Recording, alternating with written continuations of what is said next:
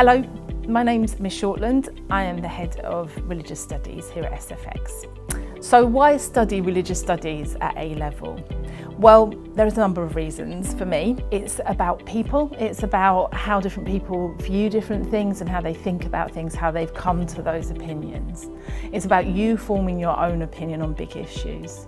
It's about how you interact with other people, um, and that's a really important skill to have, especially in today's um, world and climate. Other skills that you will develop in religious studies are critical thinking um, and research skills, independent research skills. These these are vital skills for your, your university, whatever subject that you choose to do in the future and whatever job that you choose to do in the future.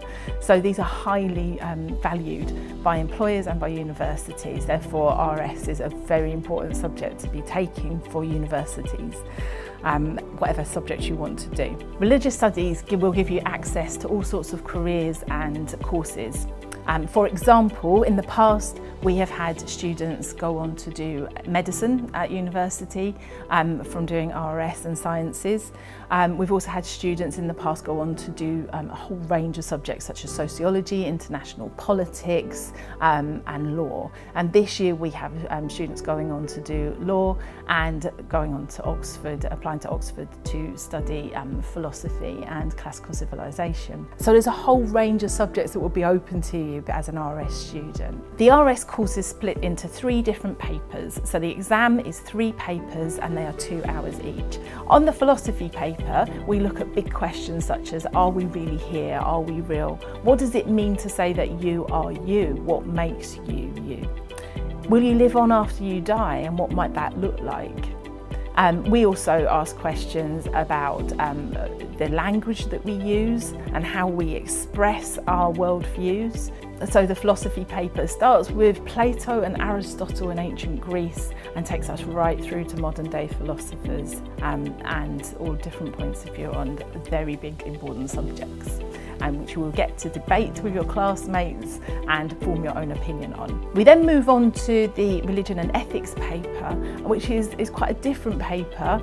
Um, it looks at how we make decisions about, um, about right behaviour and wrong behaviour, and different points of view on how we do that. You get to explore your own ways of making decisions, find out a bit about yourself um, and then apply that to different situations such as medical ethics, euthanasia, and business ethics for those of you who might be looking at going into business in the future. Um, so it's a really important aspect of this business. How do we do business ethically? Then also sexual ethics, so looking at topics such as um, extramarital sex or homosexuality. We'll explore those topics and look at them in different ways, but also what's your conscience um, and what are different views on that. Freud, for example, um, what did he say about our conscience? Um, so we have a we have a look at a lot of different subjects in ethics. Um, and you will be uh, examined on that at the end. So the third paper that we look at is the development in one religion.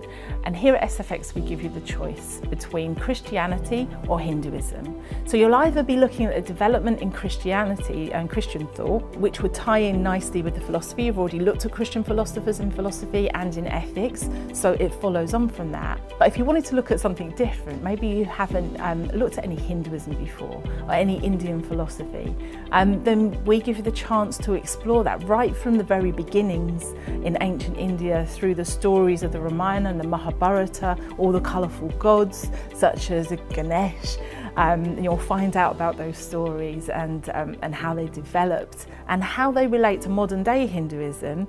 And currently on the Hinduism course, we're now up to looking at modern day Hinduism, Gandhi and how um, Gandhi's teachings and various other people around that time have impacted on the political situation as it is today in India, which is still very colourful um, and very eventful. So we're finding that every day we've got news stories that we're coming in from India and we're looking at those in class currently. So it's a really varied um, third paper, whether you're doing Christianity or Hinduism, and that's your choice. You can choose which one to do. In summary, if you're interested in people, if you're interested in finding out about other people's views um, and having good debates with your, your classmates, um, if you're interested in exploring your own worldviews and challenging yourself, then RSA level is for you.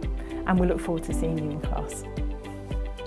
I enjoy studying RS because it allows you to make your own judgment about other people's judgments of that belief and also you, it highlights the way people interpret like every aspect of life through their religion.